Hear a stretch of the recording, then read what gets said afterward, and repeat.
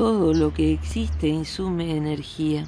Esta flor que está viendo su primer amanecer se hizo con una enorme energía. Todo lo que pensamos y sentimos insume energía, todo lo que hacemos. Y decimos, me cuesta mucho, cuánto me costó lograr eso. Y el idioma nos lo muestra, está hablando de la energía en términos de dinero, es la misma expresión.